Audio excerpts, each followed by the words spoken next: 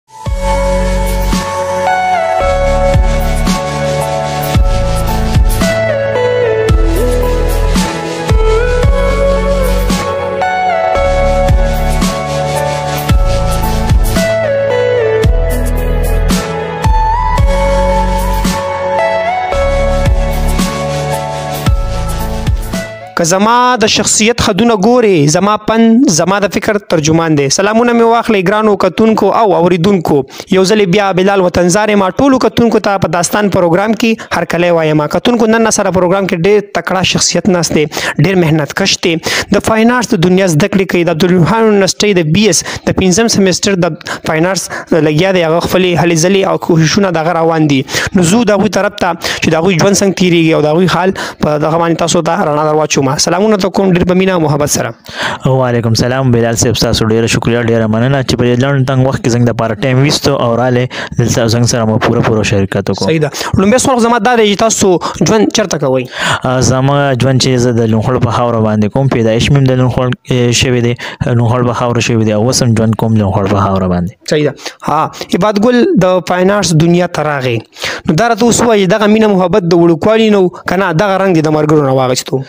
دا مینه محبت چې زما د بچپن نه په نرسري کې چې کله زه وم په هغه ټایم کې ما به ډرنکس کول نو زما ډرنکس هغه وخت نه ډېر ښکلي او مزېدار و چې زما ټیچرس به ډېر زیات خوښول چې واقعي چې به د ډرنکس ډېر زیات ښکلي دي نو چې هغوی به ما ته دا سپورټس راکول نو ما هم غوښتل چې یار زه مخکې لاړ شم او ډرنکس وکړم صحیح ده حفاظ ګل تصویر جوړې تصویر باندې د غنټو په حساب سره تصویر جوړې غنا د ورځو په حساب سره تصویر جوړې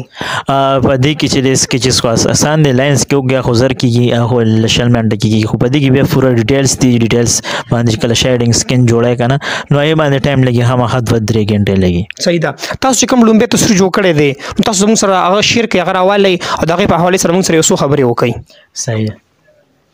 دغه ړومبه ته چې د کم جوړ کړي دي دا د غنی خان بابا دی نو د په حواله سره مون سره عباد ګل خبرې کوي چې تصویر مقصد څه دی او تصویر مطلب څه دی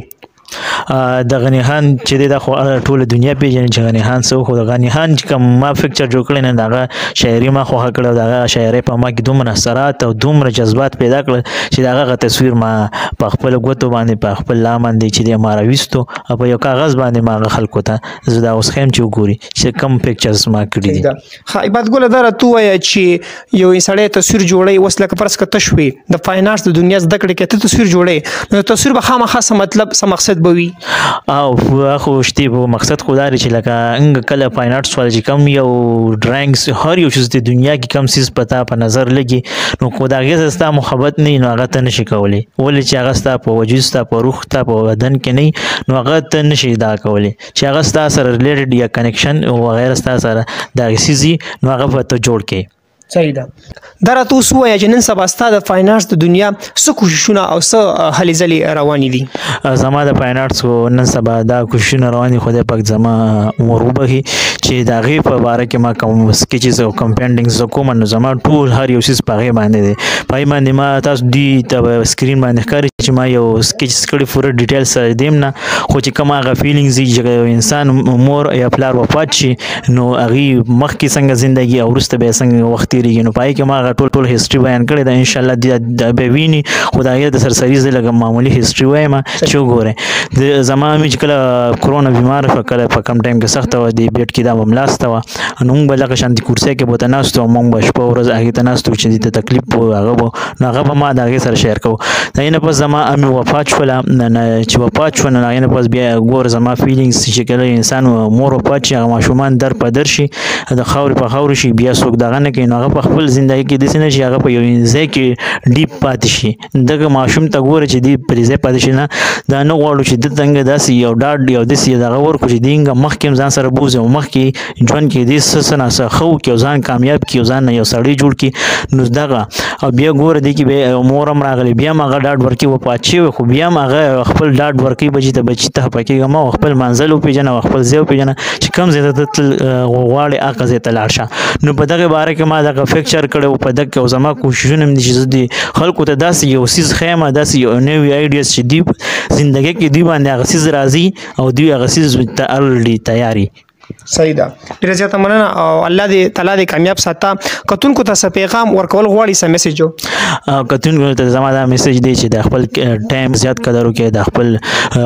ګاونډیانو کلیوال کم مشران دي کشران دي د دوی ټول موږ خپل یو قدر وکړو عزت وکړو نو په دې باندې موږ مخ کې ځو خو دا قدر موږ د یو بل نه کوو یو بل خیال نه ساتو یو بل دغه نه کوو نو دا دنیا خو په دې باندې نه کېږي دا خو په مینه خلوص باندې کېږي چې یو بل ته به نږدې کېږو په دې باندې چې یو بل کار وکړو د یو بل محنت هر یو څیز موږ مخ کې بوزو نو په دې ته کتونکو ته وایم چې داسې یو څیز وکړئ چې په دې دنیا کې چې ته سواله نه یې خو چې دا خلک تا پسې خپه وي او دا هر یو څیز درپسې خپي او خط دغه سره داسې ځان یو ځای ته ورسوي چې ان شاء الله ته نه کوچ دا ماشوم ماشوم بچي بچي د پسې خپي